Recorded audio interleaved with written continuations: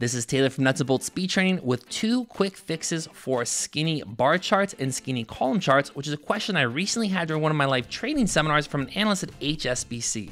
So this is a great chance for you to practice developing your PowerPoint eyes so that you can spot these in your own slides, in your colleagues' slides, in your boss's slides, and know exactly how to fix them.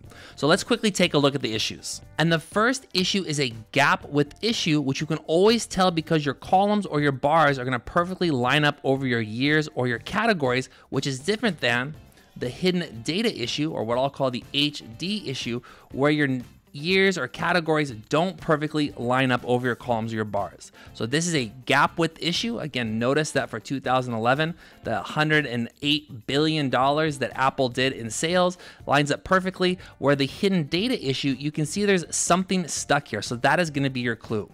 On a column chart, this again is developing your eye. You can see the columns perfectly line up over my years or my categories versus the hidden data issue where you can see all of that data rotates to the left because I basically have hidden data, so HD, hidden data stuck inside of my graph. Now, before I show you how to fix both of these issues, you might be wondering what's wrong with skinny charts in the first place. In my mind, skinny charts, skinny column charts and skinny bar charts simply look like pasta noodles that you're presenting with your data instead of just fattening or thickening them up for these larger charts, which I think look much better for your dashboards, your client deliverables, etc. Again, if I click between these two slides, these are the skinny charts, these are the fattened up charts. I think these always look best, so let's look at how to fix them. So the first issue for skinny charts is gap width, and I recommend always using a 50% to a 75% gap width, which I think always looks best. And the easiest way to get your gap width here in PowerPoint is Control 1 on your keyboard. So let's first fix this issue with a bar chart. And again, developing your PowerPoint eye, you can see that my categories or my years are lining up directly with my bars. So let me just come in here to PowerPoint.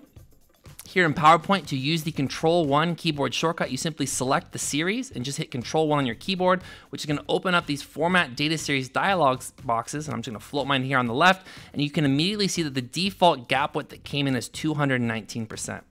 Or if you don't like to use keyboard shortcuts, you can also select your series, come up to the chart format tab and come and click format selection. Clicking format selection is the same as hitting control one on your keyboard.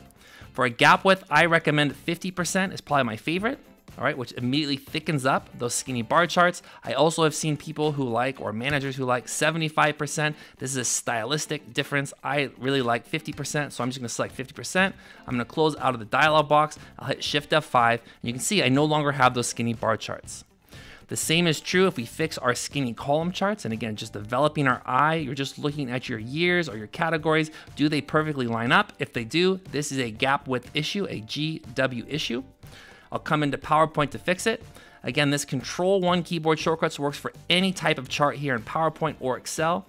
I simply select my series, hit Control 1 on my keyboard. You can see the Format Data Series dialog box opens. There's a series overlap, which we don't care about here. Here, we're just concerned about the gap width. I will change it to 50%, hit enter. The columns thicken up. I'll close out of the dialog box and I'll hit Shift F5. So that is the gap width issue. Next, let's look at the hidden data issue, which is something that I see in more and more people's charts, just accidentally leaving hidden data or hidden numbers inside of their Excel chart, which again influences the thickness of your charts. Here on the next slide, I have an example of hidden data for our bar chart. And again, developing your PowerPoint eye, notice that these years don't perfectly line up with the bars. This is a hint and a half that someone has left hidden numbers inside of the Excel spreadsheet, and that's what's pushing these bar charts and making them so skinny. I come in here to PowerPoint and just right click my chart and select edit data, I'm gonna open up the underlying Excel spreadsheet and you can immediately see the problem. I'll just resize a little bit. Notice that as someone inserted this chart, PowerPoint gave them a bunch of dud data. They simply selected the data, hit delete, and then added Apple's revenue numbers, but they didn't filter out these blank columns. You can see that as soon as I filter them out, that the columns get a little bit bigger or the bars get a little bit bigger. I personally prefer when you have a situation like this, instead of just filtering out the data, I will simply select the columns of data I don't want, right click and hit delete.